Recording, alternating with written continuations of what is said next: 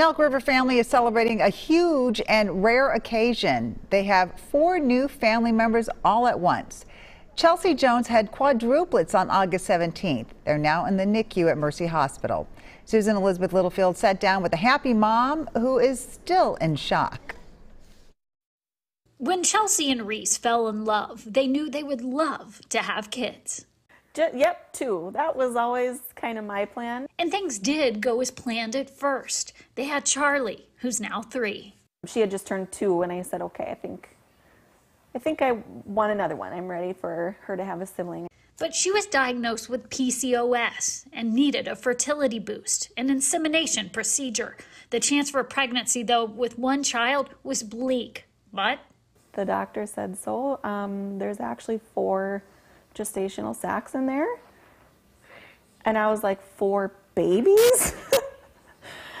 and he was like, yeah, yep.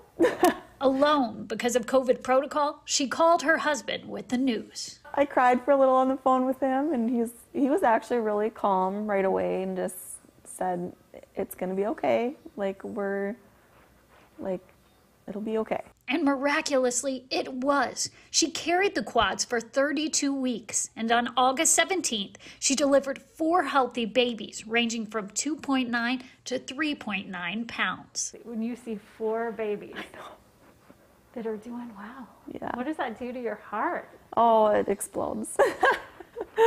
People say that you're, it just works. Your heart just makes room and you just love them all.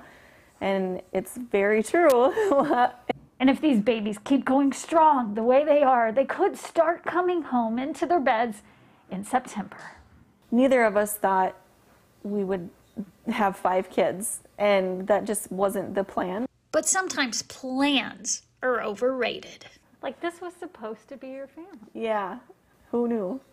Who knew? Not us. Not my doctor. In Elk River, Susan Elizabeth Littlefield, WCCO 4 News. Chelsea had to quit her job to help care for the kids. Elk River friends and neighbors have pitching in with donations. If you'd like to help the family, we have a GoFundMe on WCCO.com slash links.